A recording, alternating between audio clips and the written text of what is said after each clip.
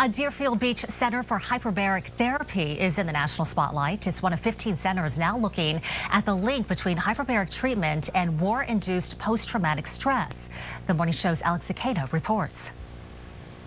For the past 12 years, the South Florida Center for HOPE, or Hyperbaric Oxygen Producing Environment, has treated countless patients with various conditions but it will now be one of 15 centers throughout the country participating in a new government study to look at the effectiveness of hyperbaric oxygen therapy to treat brain injured soldiers and troops with cases of post traumatic stress disorder, conditions not covered by health insurance.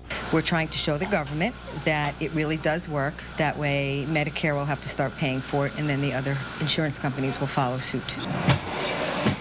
Hyperbaric oxygen therapy involves giving the body 100% oxygen under pressure, increasing the rate at which the body's cells receive oxygen, while also stimulating dormant neural cells resulting from head injuries. Mm -hmm. One success story is that of Cedric Ehlers, a young man who suffered a head injury at the age of 14 and has been using the center for years. It has gotten me to get my visual memory. I've gotten my visual memory back. Some days I can get use my left hand. His wit is quicker. Um, he's able to keep his balance better. Um, his vision is stimulated more. Uh, he's able to remember things better.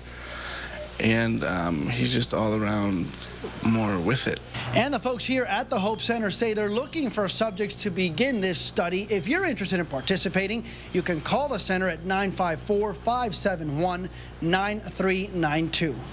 In Deerfield Beach, I'm Alex Ikeda reporting for The Morning Show.